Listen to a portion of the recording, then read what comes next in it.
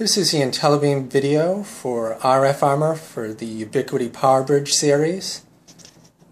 It works for the 5 GHz, 3.65, and 2.4 series of the PowerBridges. So what we have here is the PowerBridge M365. Just remove the bolts that come pre-attached to it.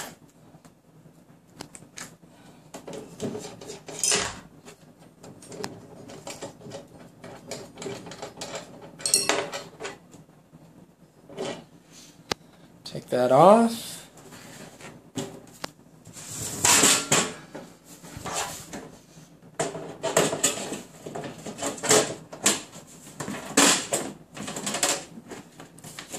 Mount it in place. Over. Reattach the brackets.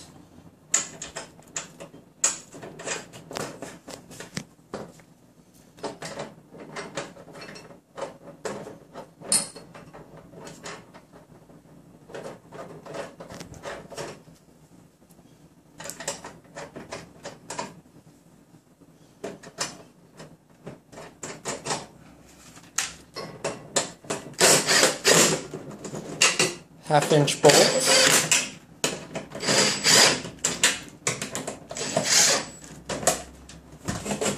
And you are mounted.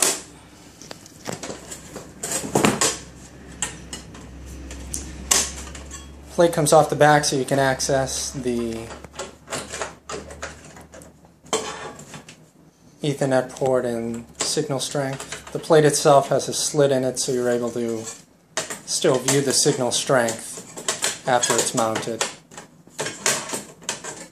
So once again, that's the IntelliBeam review for the RF armor for the PowerBridge series, currently on an M365.